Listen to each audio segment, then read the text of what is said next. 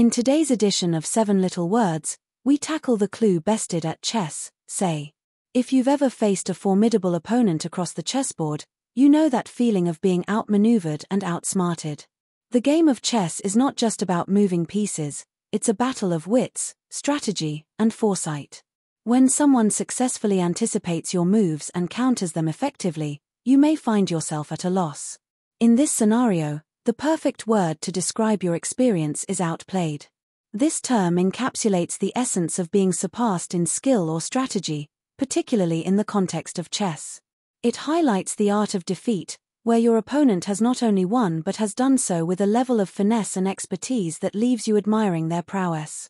So, the next time you find yourself in a challenging match, remember this word outplayed and let it serve as a reminder of the lessons learned on the chessboard.